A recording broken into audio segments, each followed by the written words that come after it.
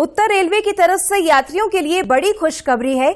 आज से कोटद्वार दिल्ली के बीच सिद्धबली जन शताब्दी की शुरुआत हो गई है। रेल मंत्री पीयूष गोयल ने ट्रेन को वर्चुअली हरी झंडी दिखाकर रवाना किया। केंद्रीय शिक्षा मंत्री डॉक्टर रमेश पोखरियाल निशंक और राज्यसभा सदस्य अनिल बलूनी भी वर्चुअल माध्यम से समारोह से जुड़े। आज लॉकडाउन के बाद पहली बार कोटद्वार से पैसेंजर ट्रेन की शुरुआत होने वाली है। मुझे बताया गया कि इसमें पूरी जो रूट है कोटद्वार से दिल्ली तक, इसमें एक छोटा हिस्सा विद्युतीकरण का बाकी है, मात्र पंद्रह किलोमीटर का।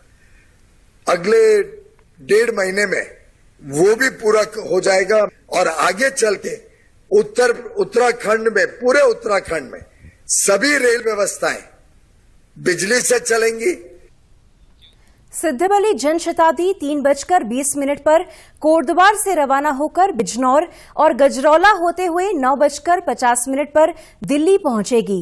इसी तरह सुबह सात बजे दिल्ली से रवाना होकर नजीबाबाद होते हुए दोपहर एक बजकर चालीस मिनट पर कोटद्वार पहुंचेगी।